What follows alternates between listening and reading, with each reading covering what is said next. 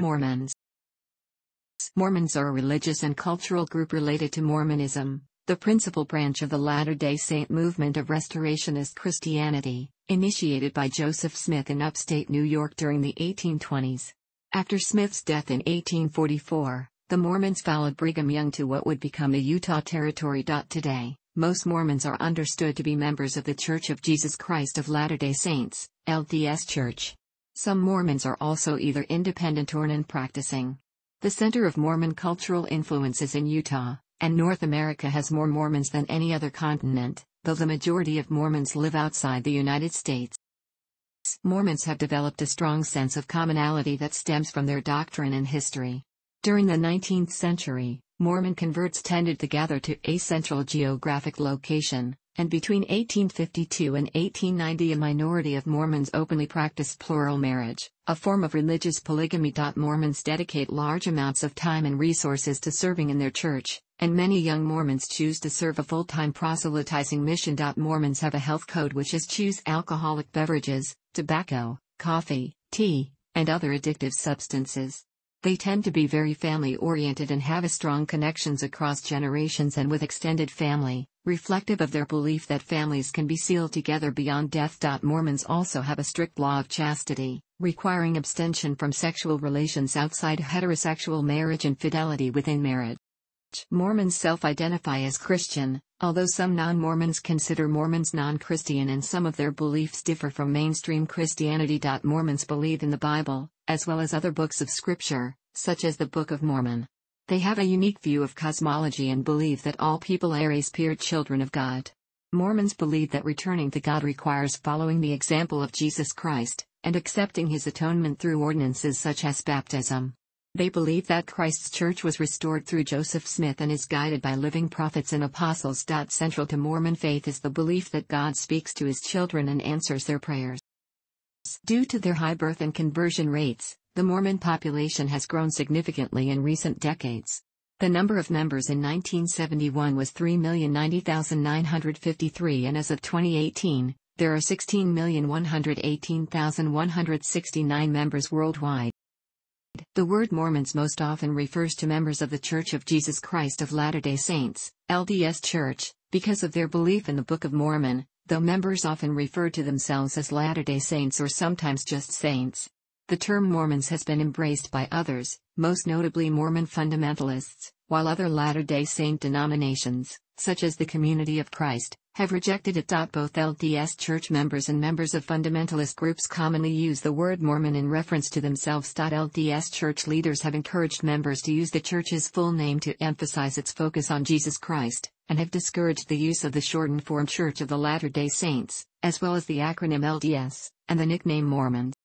The word Mormon is often associated with polygamy, or plural marriage, which was a distinguishing practice of many early Mormons, however, it was renounced by the LDS Church in 1890 and discontinued over the next 15 years. Today, polygamy is practiced within Mormonism only by people that have broken with the LDS Church.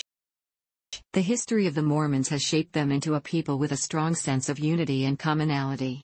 From the start, Mormons have tried to establish what they call Zion, a utopian society of the righteous. Mormon history can be divided into three broad time periods 1. The early history during the lifetime of Joseph Smith, 2. A pioneer era under the leadership of Brigham Young and his successors, and 3. A modern era beginning around the turn of the 20th century. In the first period, Smith had tried literally to build a city called Zion, in which converts could gather. During the pioneer era, Zion became a landscape of villages in Utah. In modern times, Zion is still an ideal, though Mormons gather together in their individual congregations rather than a central geographic location. Mormons trace their origins to the visions that Joseph Smith reported he had in the early 1820s while living in upstate New York. In 1823, Smith said an angel directed him to a buried book written on golden plates containing the religious history of an ancient people. Smith published what he said was a translation of these plates in March 1830 as the Book of Mormon, named after Mormon, the ancient prophet historian who compiled the book. On April 6, 1830, Smith founded the Church of Christ. The early church grew westward as Smith sent missionaries to proselytize. In 1831, the church moved to Kirtland, Ohio where missionaries had made a large number of converts and Smith began establishing an outpost in Jackson County, Missouri, where he planned to eventually build the city of Zion, or the New Jerusalem. In 1833, Missouri settlers, alarmed by the rapid influx of Mormons, expelled them from Jackson County into the nearby Clay County, where local residents were more welcoming. After Smith led a mission, known as Zion's Camp, to recover the land, he began building Kirtland Temple in Lake County, Ohio, where the church flourished. When the Missouri Mormons were later asked to leave Clay County in 1836, they secured land in what would become Caldwell County. The Kirtland era ended in 1838, after the failure of a church-sponsored anti-bank caused widespread defections, and Smith regrouped with the remaining church in far west Missouri. During the fall of 1838, tensions escalated into the Mormon War with the old Missouri settlers. On October 27, the governor of Missouri ordered that the Mormons must be treated as enemies and be exterminated or driven from the state.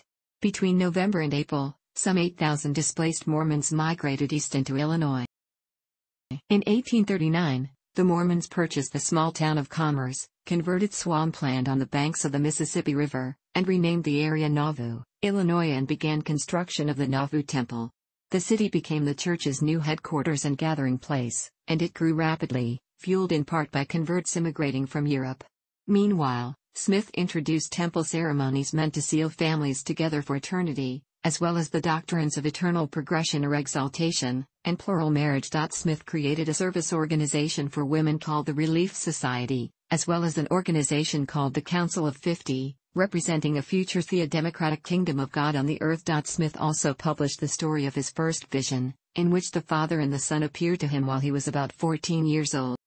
This vision would come to be regarded by some Mormons as the most important event in human history after the birth, ministry, and resurrection of Jesus Christ.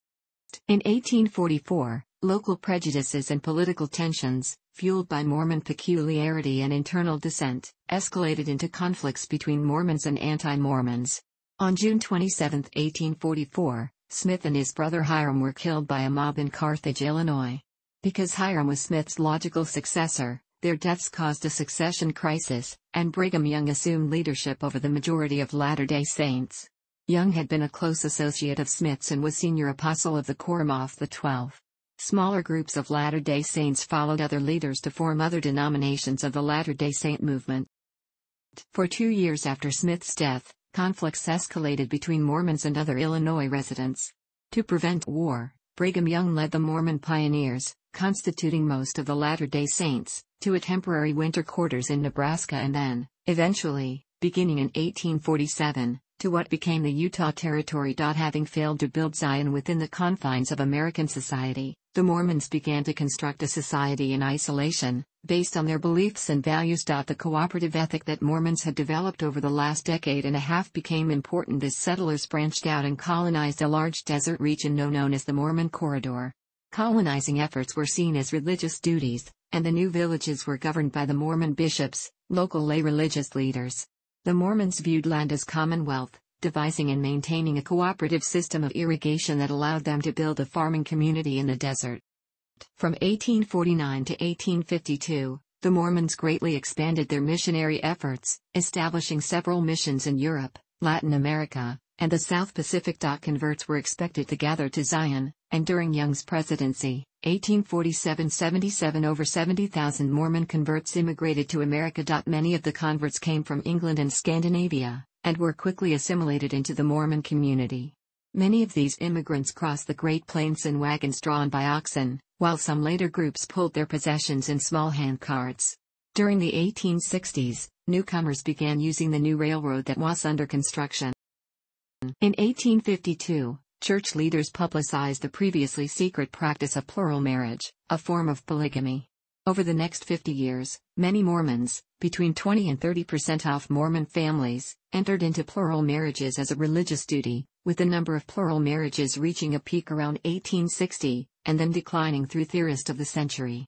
Besides the doctrinal reasons for plural marriage, the practice made some economic sense, as many of the plural wives were single women who arrive at Dean, Utah without brothers or fathers to offer them societal support. By 1857, Tensions had again escalated between Mormons and other Americans, largely as a result of accusations involving polygamy and the theocratic rule of the Utah Territory by Brigham Young. In 1857, U.S. President James Buchanan sent an army to Utah, which Mormons interpreted as open aggression against them. Fearing a repeat of Missouri and Illinois, the Mormons prepared to defend themselves, determined to torch their own homes in the case that they were invaded. The relatively peaceful Utah War ensued from 1857 to 1858, in which the most notable instance of violence was the Mountain Meadows Massacre, when leaders of the local Mormon militia ordered the killing of a civilian emigrant party that was traveling through Utah during the escalating tensions. In 1858, Young agreed to step down from his position as governor and was replaced by a non Mormon, Alfred Cumming. Nevertheless, the LDS Church still wielded significant political power in the Utah Territory. At Young's death in 1877, he was followed by other LDS Church presidents, who resisted efforts by the United States Congress to outlaw Mormon polygamous marriages. In 1878, the U.S. Supreme Court ruled in Reynolds v. United States that religious duty was not a suitable defense for practicing polygamy, and many Mormon polygamists went into hiding. Later, Congress began seizing church assets. In September 1890, Church President Wilford Woodruff issued a manifesto that officially suspended the practice of polygamy. Although this manifesto did not dissolve existing plural marriages, relations with the United States markedly improved after 1890, such that Utah was admitted as a U.S. state in 1896.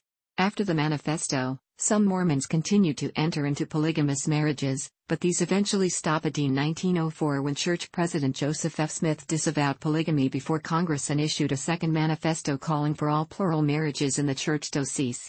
Eventually, the church adopted a policy of excommunicating members found practicing polygamy, and today seeks actively to distance itself from fundamentalist groups that continue the practice. During the early 20th century, Mormons began to reintegrate into the American mainstream. In 1929, the Mormon Tabernacle Choir began broadcasting a weekly performance in national radio, becoming an asset for public relations. Mormons emphasized patriotism and industry, rising in socioeconomic status from the bottom among American religious denominations to middle class. In the 1920s and 1930s, Mormons began migrating out of Utah, a trend hurried by the Great Depression, as Mormons looked for work wherever they could find it. As Mormons spread out, church leaders created programs that would help preserve the tight knit community feel of Mormon culture. In addition to weekly worship services, Mormons began participating in numerous programs such as Boy Scouting, a young women organization, church sponsored dances, ward basketball, camping trips, plays, and religious education programs for youth and college students. During the Great Depression, the church started a welfare program to meet the needs of poor members, which has since grown to include a humanitarian branch that provides relief to disaster victims. During the later half of the 20th century, there was a retrenchment movement in Mormonism in which Mormons became more conservative, attempting to regain their status as a peculiar people. Though the 1960s and 1970s brought changes such as women's liberation and the civil rights movement, Mormon leaders were alarmed by the erosion of traditional values, the sexual revolution, the widespread use of recreational drugs, moral relativism, and other forces they saw as damaging to the family. Partly to counter this, Mormons put an even greater emphasis on family life, religious education, and missionary work, becoming more conservative in the process. As a result, Mormons today are probably less integrated with mainstream society than they were in the early 1960s. Although black people have been members of Mormon congregations since Joseph Smith's time, before 1978, black membership was small. From 1852 to 1978, the LDS Church enforced a policy that restricted men of black African descent from being ordained to the church's lay priesthood. The church was sharply criticized for its policy during the civil rights movement, but the policy remained in force until a 1978 reversal that was prompted in part by questions about mixed race converts in Brazil. In general, Mormons greeted the change with joy and relief. Since 1978, black membership has grown, and in 1997 there were approximately 500,000 black members of the church, about 5% of the total membership, mostly in Africa, Brazil and the Caribbean. Black membership has continued to grow substantially, especially in West Africa, where two temples have been built. Many black Mormons are members of the Genesis group, an organization of black members that predates the priesthood ban, and is endorsed by the Church. The LDS Church grew rapidly after World War II and became a worldwide organization as missionaries were sent across the globe. The church doubled in size every 15 to 20 years, and by 1996, there were more Mormons outside the United States than inside. In 2012, there were an estimated 14.8 million Mormons, with roughly 57% living outside the United States. It is estimated that approximately 4.5 million Mormons, roughly 30% of the total membership, regularly attend services. A majority of U.S. Mormons are white and non Hispanic, 84%. Most Mormons are distributed in North and South America, the South Pacific, and Western Europe. The global distribution of Mormons resembles a contact diffusion model, radiating out from the organization's headquarters in Utah. The Church enforces general doctrinal uniformity, and congregations on all continents teach the same doctrines, and international Mormons tend to absorb a good deal of Mormon culture, possibly because of the Church's top down hierarchy and a missionary presence. However, international Mormons often bring pieces of their own heritage into the Church, adapting Church practices to local cultures. Chile, Uruguay, and several areas in the South Pacific have a higher percentage of Mormons than the United States, which is at about 2%. South Pacific countries and dependencies that are more than 10% Mormon include American Samoa, the Cook Islands, Kiribati, Niue, Samoa, and Tonga. Isolation in Utah had allowed Mormons to create a culture of their own. As the faith spread around the world, many of its more distinctive practices followed. Mormon converts are urged to undergo lifestyle changes, repent of sins, and adopt sometimes atypical standards of conduct. Practices common to Mormons include studying scriptures, praying daily, fasting regularly, attending Sunday worship services, participating in church programs and activities on weekdays, and refraining from work on Sundays when possible. The most important part of the church services is considered to be the Lord's Supper, commonly called sacrament, in which church members renew covenants made at baptism. Mormons also emphasize standards they believe were taught by Jesus Christ, including personal honesty, integrity, obedience to law, chastity outside marriage, and fidelity within marriage. In 2010, around 13 to 14 percent of Mormons lived in Utah, the center of cultural influence for Mormonism. Utah Mormons, as well as Mormons living in the Intermountain West, are on average more culturally and or politically conservative than those living in some cosmopolitan centers elsewhere in the U.S. Utahns self-identifying as Mormon also attend church somewhat more on average than Mormons living in other states. Nonetheless, whether they live in Utah or elsewhere in the U.S., Mormons tend to be more culturally and or politically conservative than members of other U.S. religious groups. Utah Mormons often place a greater emphasis on pioneer heritage than international Mormons who generally are not descendants of the Mormon pioneers. Mormons have a strong sense of communality that stems from their doctrine and history.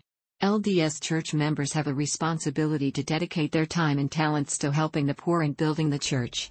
The church is divided by locality into congregations called wards, with several wards or branches to create a stake.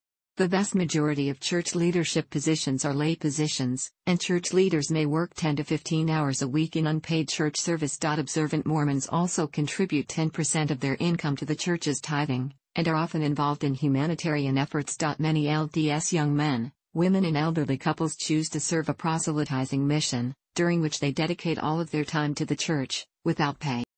Mormons adhere to the word of wisdom, a health law or code that is interpreted as prohibiting the consumption of tobacco, alcohol, coffee, and tea, while encouraging the use of herbs, grains, fruits, and a moderate consumption of meat.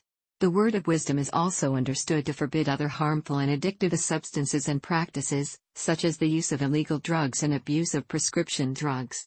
Mormons are encouraged to keep a year's supplies that include a food supply and a financial reserve. Mormons also oppose behaviors such as viewing pornography and gambling.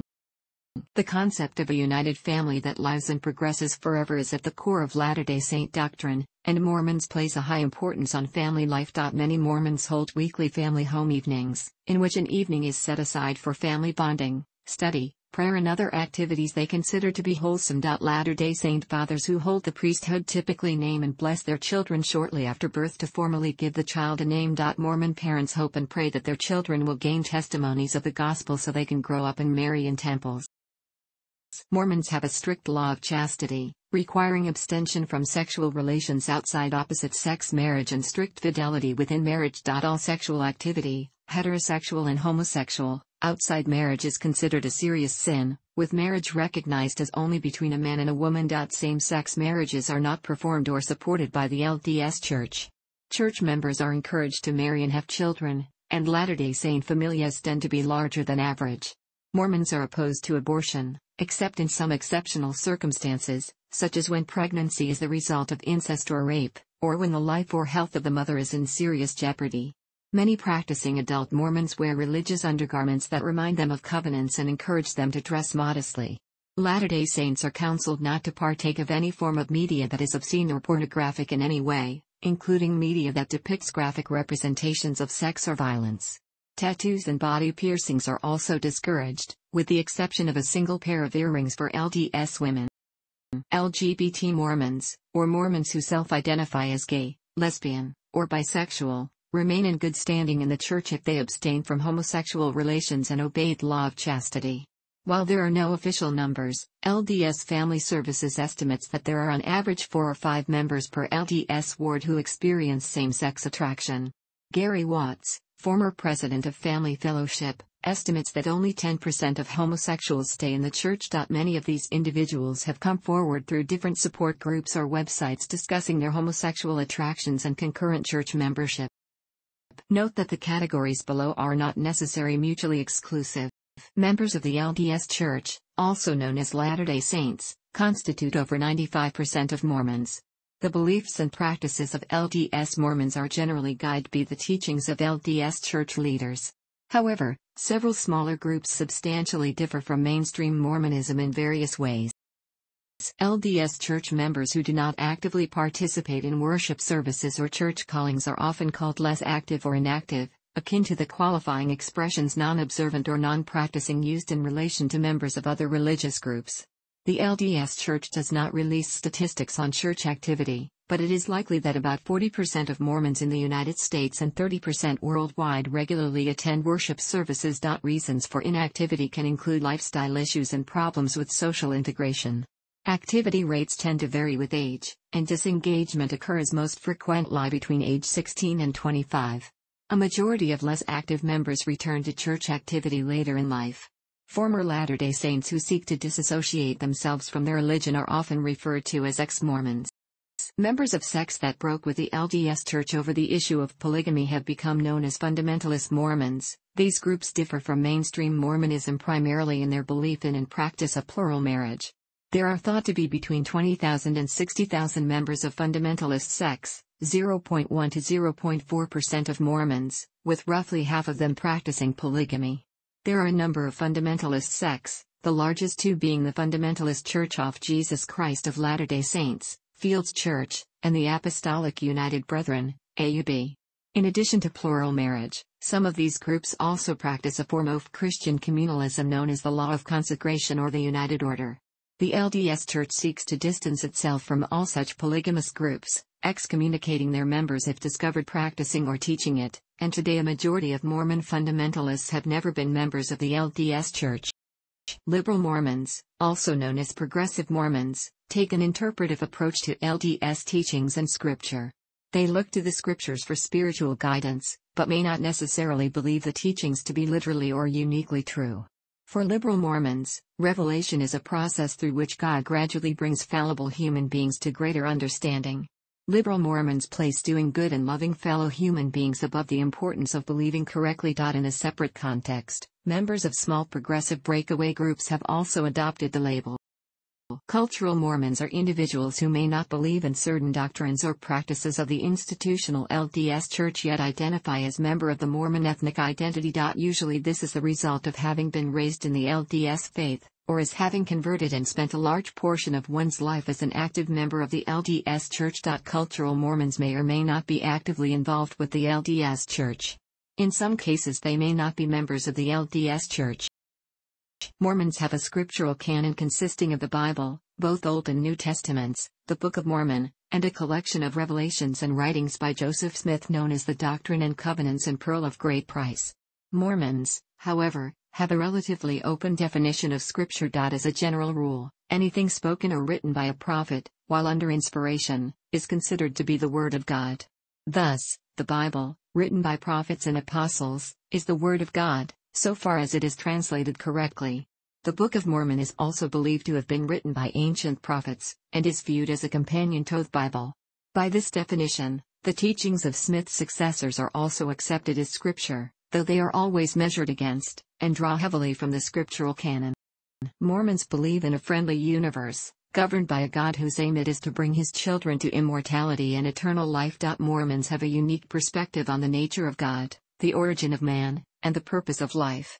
For instance, Mormons believe in a premortal existence where people were a literal spirit children of God, and that God presented a plan of salvation that would allow his children to progress and become more like him. The plan involved the spirits receiving bodies on earth and going through trials in order to learn, progress, and receive a fullness of joy.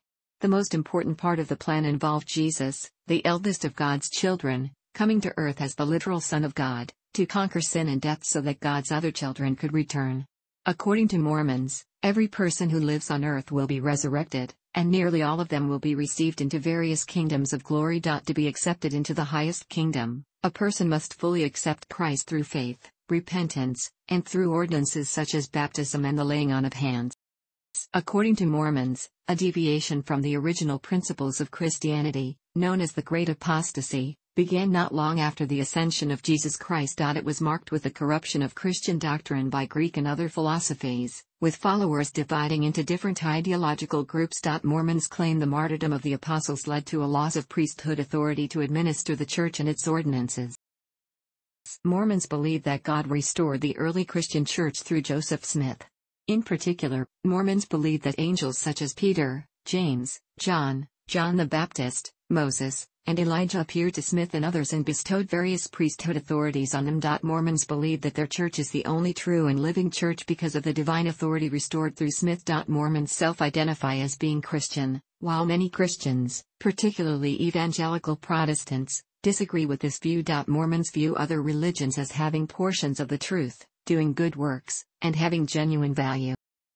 Though the LDS Church has a top down hierarchical structure with a president prophet dictating revelations for the whole church, there is a bottom up aspect as well. Ordinary Mormons have access to the same inspiration that is thought to guide their prophets, and are encouraged to seek their own personal revelations. Mormons see Joseph Smith's first vision as proof that the heavens are open, and that God answers prayers. They place considerable emphasis on asking God to find out if something is true. Most Mormons do not claim to have had heavenly visions like Smith's in response to prayers, but feel that God talks to them in their hearts and minds through the Holy Ghost. Though Mormons have some beliefs that are considered strange in a modernized world, they continue to hold on to their beliefs because they feel God has spoken to them. Thanks for watching. Don't forget like the video and don't forget to subscribe.